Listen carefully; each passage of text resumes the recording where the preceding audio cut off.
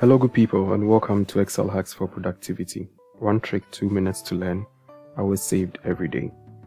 In this short video, we'll learn how to use the advanced filter to export a list from a database using a criteria. So here, I have an example payroll data here. And from this payroll, I want to extract the information for only staff in admin and their salaries. And I want to put this on the side of this worksheet.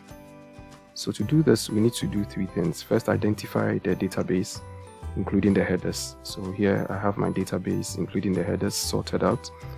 The second thing I need is a criteria bar.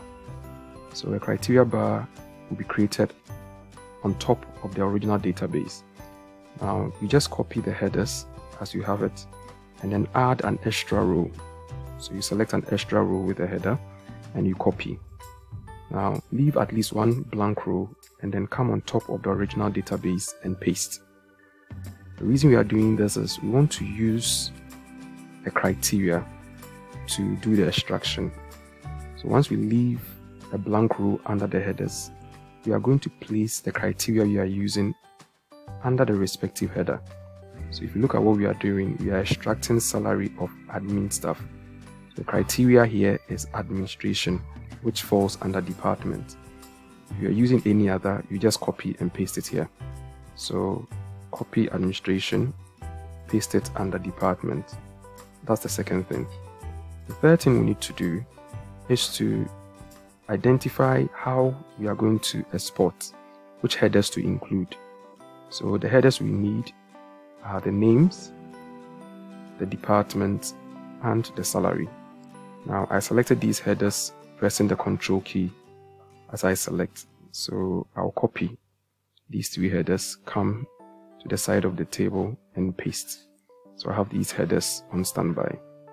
So my database, my criteria bar, and then my export cells. Now, when you've done this, you just come to the ribbon and then under data you locate sort and filter advanced.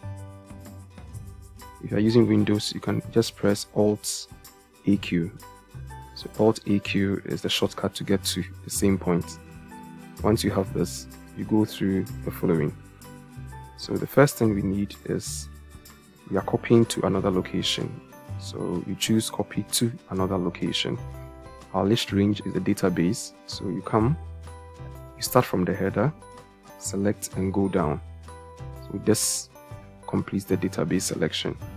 Our criteria range is the criteria bar we created on top of the original database. Again you select it with the headers and you include that extra row with the criteria. And the last thing we need is the copy to we have our headers on standby so all we need to do is just select the headers.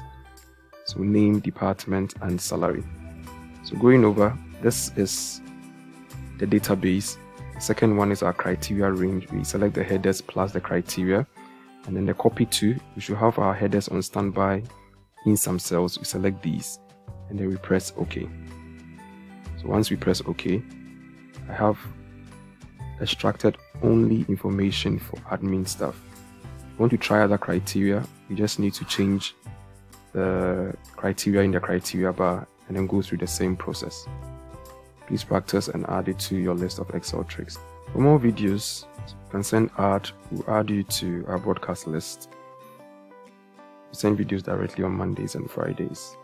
Visit our YouTube channel for all our old videos. Click subscribe for notification of new videos or give us a like on our Facebook page. Thanks for watching and have a wonderful day.